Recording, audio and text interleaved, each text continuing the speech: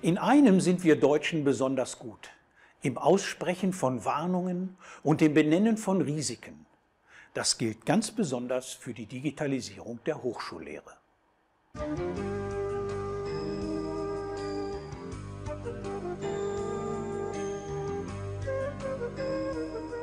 Die Digitalisierung der Lehre ist aufwendig und personal- wie kostenintensiv, keine Frage.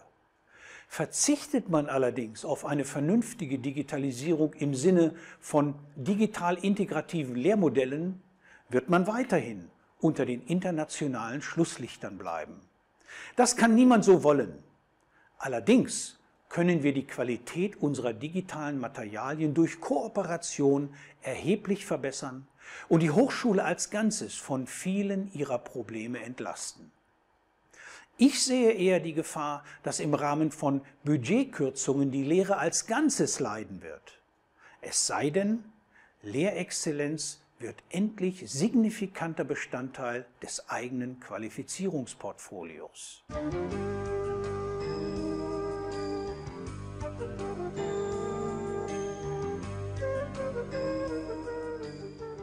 So wie derzeit die sogenannte Online-Lehre durchgeführt wird, ist es kein Wunder, dass viele abspringen.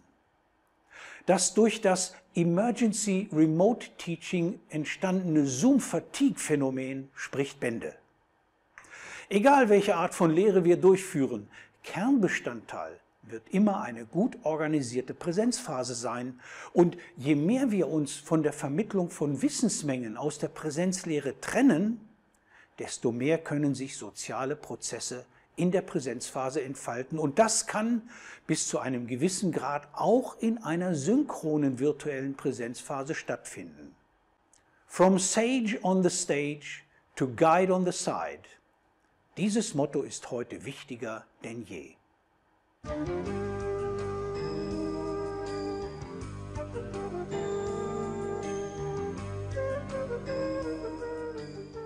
Videos allein können gar nicht die neuen PDFs sein, weil ein Grundprinzip der digitalen integrativen Lehre lautet, Learning is not just video.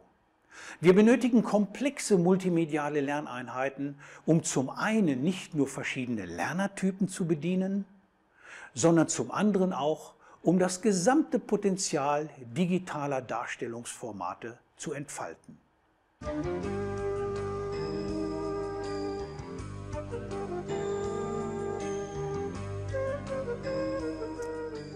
Eines der Hauptprobleme der Digitalisierung der Lehre in Deutschland ist die Ablehnung der Nutzung vorhandener digitaler Materialien, speziell von Lehrvideos. Man will einfach nicht. Die Gründe? Ich kann nur spekulieren. Entweder vorhandene Videos sind nachweislich zu schlecht, dann kann man sie getrost ablehnen. Möglicherweise sind es aber auch Ängste vor einem Reputationsverlust, weil, ja, Sie hören richtig, die Videos zu gut sind und man konstatieren muss, dass man es selbst so wohl nicht hinbekommen hätte. Und schließlich ist da auch bei einigen eine generelle Ablehnung von Videos als Lehrmedium.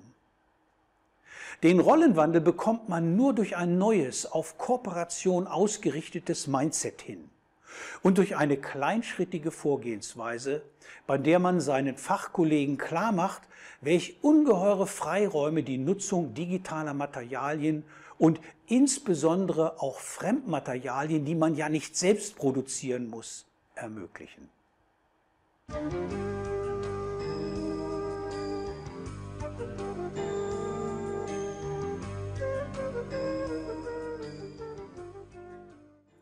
Die Digitalisierung meiner Lehre treibt mich seit Mitte der 1990er Jahre um. Meine Hauptmotivation war und ist, es gibt viele Bereiche und Themen, die ich nicht mehr frontal vor einer schweigenden Masse im Hörsaal Semester für Semester vortragen will, sondern die durch die immer besser werdenden digitalen Möglichkeiten im Selbststudium erworben werden können. Und diese Ansicht gilt für jedes Fach wenn auch in unterschiedlicher Ausprägung.